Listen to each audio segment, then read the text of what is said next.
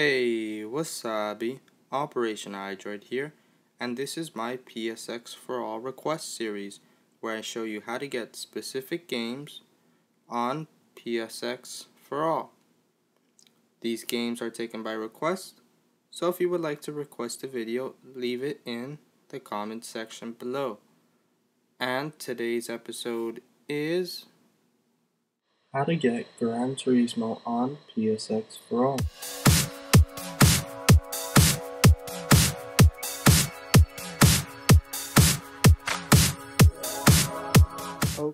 So to get this to work, we're going to need three things. The first one being PSX for all, the actual PlayStation 1 emulator, and the application that we're going to use to play the game. If you do not have that, there will be an annotation on the left or a link in the description. We'll also need iFile, file browsing system, which we'll use to put the game in the right place. If you do not have that, there will be an annotation on the right and a link in the description. And lastly, we'll need Safari Download Enabler. And to get that, you'll have to go into Cydia, then into the Search tab and search Safari Download Enabler. It's the first tweak. It's completely free, so go ahead and install that. Now, to actually get the game, we're going to have to go into Safari, the iPhone's native browser. And when Safari loads, we're going to type in the URL coolrom.com. So C double O L-R-O-M.com, coolrom.com, and this will automatically direct us to their mobile website.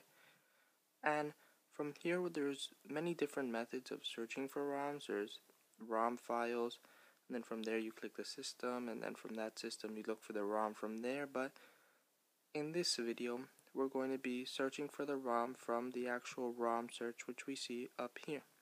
So since we're trying to get Gran Turismo, we're going to write Gran Turismo. Just like that. And click the little magnifying glass search button at the right. Now this was this will load and then give us all the results for Gran Turismo. So there's nine results and it's because there's Gran Turismo demo, different versions of Gran Turismo, and Gran Turismo 2. But we're going to get Gran Turismo version 1.1.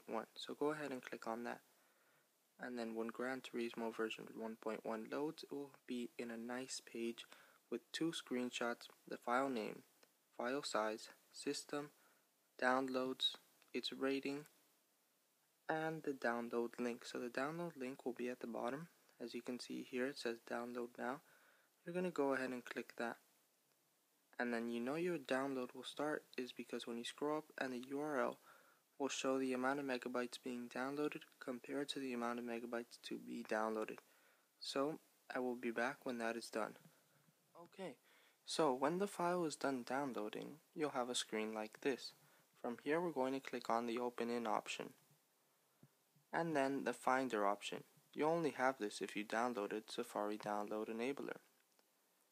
Now, when you open it, you should be in VAR Mobile. If not, then just scroll all the way back until you cannot and you'll be in VAR Mobile. It also says it right here. Anyways, from here we're going to click on the media folder. Scroll down, ROMs, and the PSX folder. And at the top right, we're going to save our Gran Turismo file here. Now we can go home and open iFile. And when we open iFile, what we're going to do is go to VAR Mobile. You should already be here, but if not, click on the house at the bottom. Then click on the media folder, scroll down, ROMs, PSX, and then look for the Gran Turismo.7z file. It should be here. And as you can see, the .7z file is here. Now what we're going to do is click on the file and then click on archiver. And now what this does is that it's going to extract the files that are in this .7z file into the PSX folder. So there's actually three files in this .7z file and we want to take those out. So this takes two to five minutes and I will be back when it is done. Alright so when the unarchive is done you should see at the bottom finished with result code 0 and a little bit above that, everything is okay. And you will also be able to click done now. So go ahead and click done at the top right. And now when we return to iFile, we will see that Gran Turismo .dot bin will now be here. So that is the file that we will use to play the game. But to make some space, we're going to delete the .7z file by sliding to the right on it and clicking delete. Now this will not permanently delete the file. We'll have to click on edit, the trash can, and empty trash. And at the top right, done. Now we can go home and into the PSX for all application. But make sure to check that it is not open into the multitasking bar. So double tap the home button. And if you see PSX for all here, hold it down and click on the red minus. Now we can open the PSX for all application. And when the PSX for all application opens, we're going to see that our Gran Turismo game is now in PSX for all. So as you can see, Gran Turismo version 1.1.bin is in PSX for all. So I'm going to go ahead and click on it. Click portrait and no sound. You guys can click whichever option you choose. But I'm clicking portrait and no sound for demonstration purposes. So as you can see, the Sony boot logo has now come up. And next is the PSX boot logo.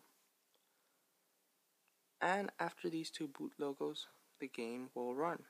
So as you can see here, the game is running just fine.